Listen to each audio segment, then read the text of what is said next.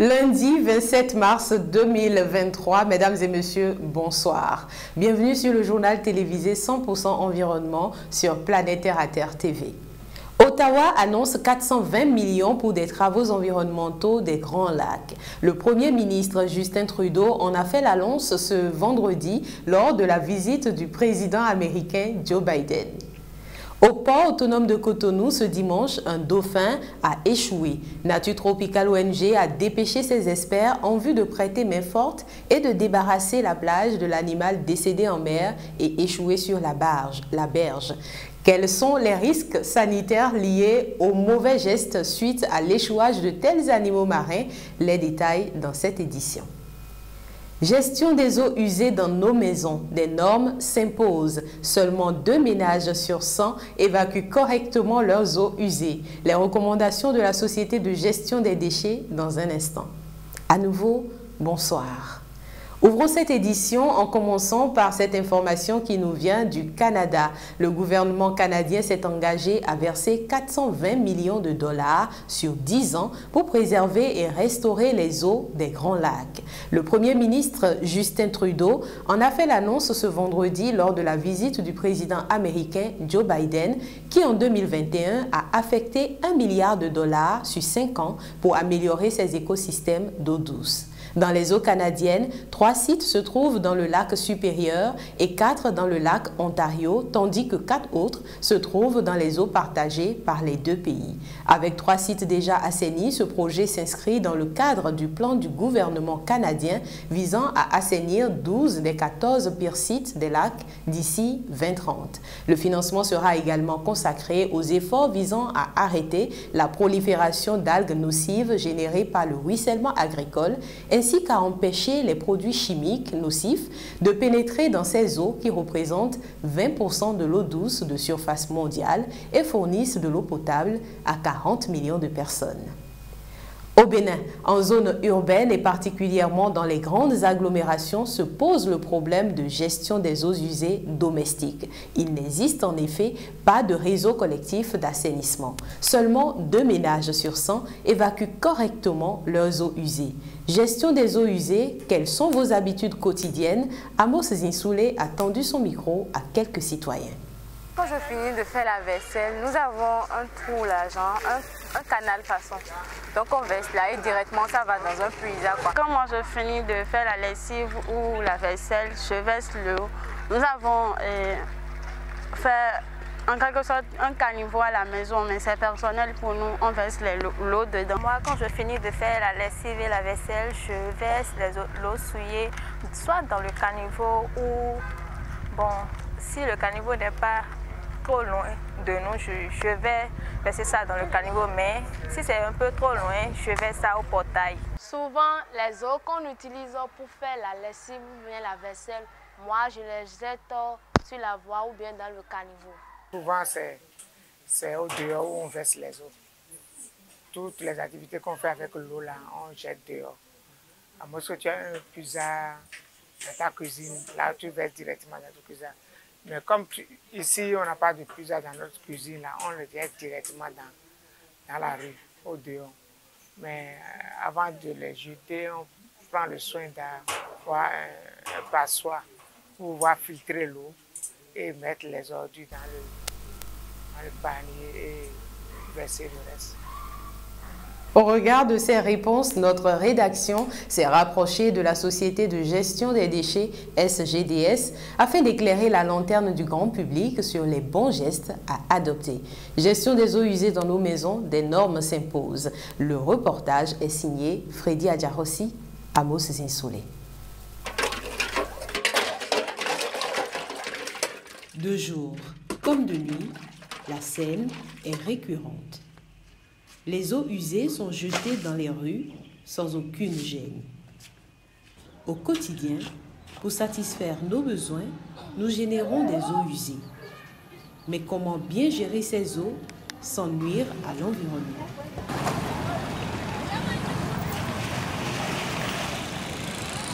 Ne doit pas être rejeté comme ça dans la nature sans aucun traitement. Donc il faudra, pour une meilleure gestion, disposer dans les ménages et des fosses et des puisards. Il est obligatoire d'avoir des puisards pour collecter les eaux de lessive, de vaisselle, de douche, etc. Les déchets solides sont pour les poubelles et uniquement dans les fosses, les bouts de vidange, dans les puisards collecter les eaux usées de vaisselle, de cuisine et de, de lessive.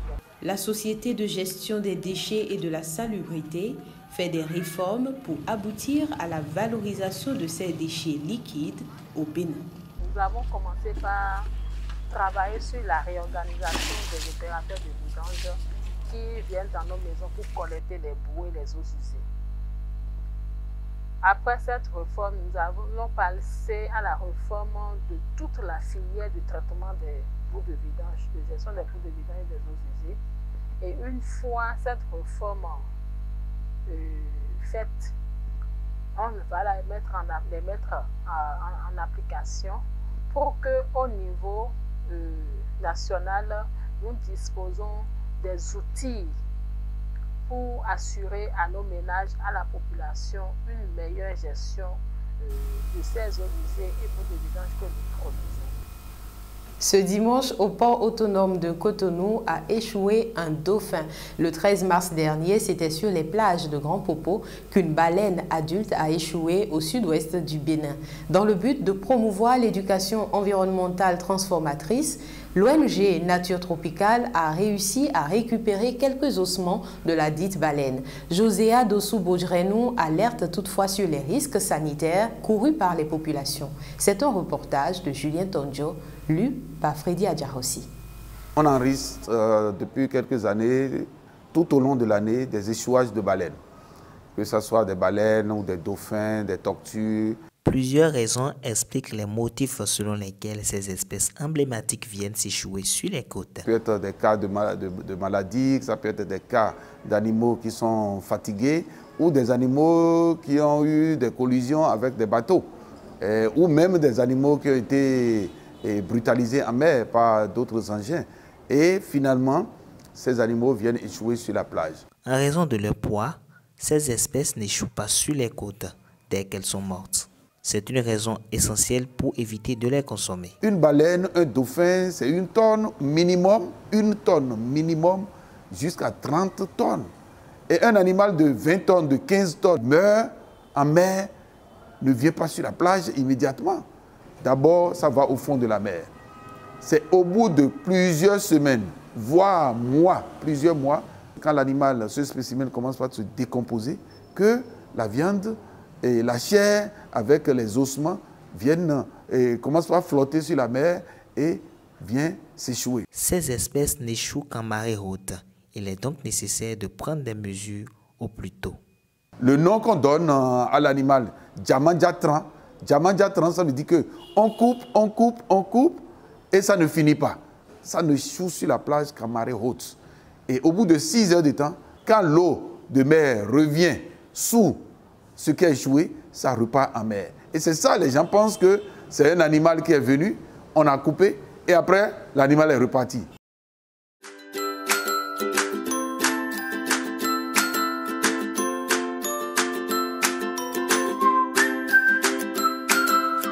Voici un produit 100% terre qui répond aux besoins spécifiques des dames. Désirez-vous une poitrine ferme et des fesses toniques et belles? Nous vous proposons le beurre d'acpi. Avec ses propriétés naturelles, le beurre d'acpi saura combler vos attentes. Le beurre d'acpi est une merveille de la nature. Passez votre commande en un clic sur le www.planeterraterre.com slash boutique ou sur notre page Facebook 100% Terre ou encore en composant le plus 229 97 08 95 14. 100% Terre, le bonheur est dans la nature. 100% Terre, un produit de Terre à Terre Bénin. Au Portugal, ils font pousser des légumes dans la commune la plus aride d'Europe. C'est au milieu de la garrigue portugaise que se trouvent les 3 hectares de la ferme-jardin de Maladina de l'association Terra Centropica. Cette association expérimente depuis trois ans l'agriculture syntropique pour diminuer sa consommation d'eau dans l'un des territoires les plus secs du pays. L'idée de l'agriculture syntropique est de prendre comme modèle l'écosystème de la forêt tropicale qui est le plus complexe et le plus productif en biomasse, et de l'appliquer à d'autres écosystèmes. Le concept d'agriculture syntropique a été inventé et expérimenté au Brésil par l'agronome Ernest Gauche dans les années 1980. Il a démontré que l'on pouvait obtenir de belles productions en consommant peu d'eau, sans apport de fertilisants extérieurs, en suivant ce principe d'ailleurs de, de symbiose entre diverses végétations. Les arbres protègent les légumes lors de fortes chaleurs d'été. Leurs feuilles nourrissent les sols permettant de conserver un maximum d'humidité et d'alimenter les champignons du broyat.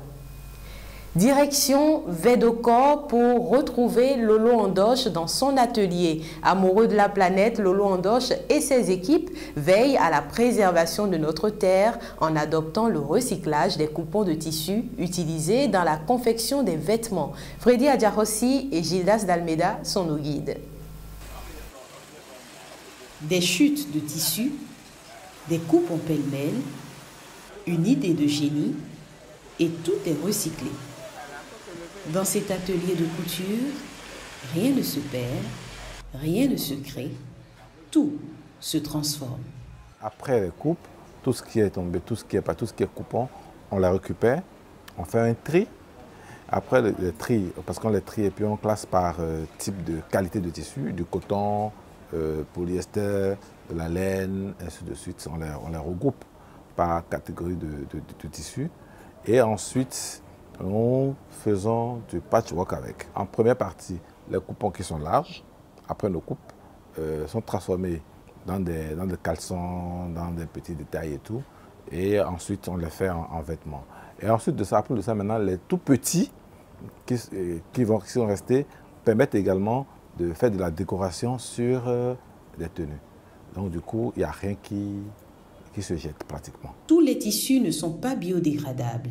Les jeter dans la nature, c'est porter atteinte à l'environnement.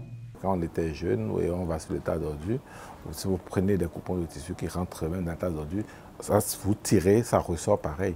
Et quand on commence à comprendre qu'il faut emporter l'environnement, on commence pas à réfléchir là-dessus. J'ai reçu quelques visites, des gens de la Banque mondiale, je me rappelle bien, qui ont cherché à savoir qu'est-ce qu'on fait avec les, euh, les chutes de tissu, qu'est-ce qu'on jette dans l'environnement et tout. Ça a réveillé davantage l'attention. Lolo Andoche, en faisant du recyclage en couture, fait sa part du colibri. Quel que soit son métier, on doit s'engager à préserver la planète. Nous demandons à tout le monde euh, de protéger notre environnement, d'éviter de jeter des déchets dans l'environnement, euh, ce qui est pour protéger davantage euh, notre, notre planète. L'astuce écolo de ce 19h45. Si vous ne souhaitez pas nettoyer votre poubelle entièrement chaque fois que vous retirez le sac poubelle, il existe quelques astuces anti-odeur pour que votre poubelle sente meilleur plus longtemps le vinaigre blanc. Dans un pulvérisateur, versez de l'eau avec deux cuillères de vinaigre blanc. Vaporisez votre poubelle ainsi que le couvercle. L'inconvénient de cette méthode est que l'odeur du vinaigre blanc n'est pas l'odeur la plus agréable qui soit, mais il reste tout de même efficace. Le bicarbonate de soude. Versez deux cuillères à soupe de bicarbonate de soude dans le fond de la poubelle avant de mettre le sac poubelle. Enlevez le bicarbonate de soude toutes les semaines et remettez-en deux cuillères. Le citron.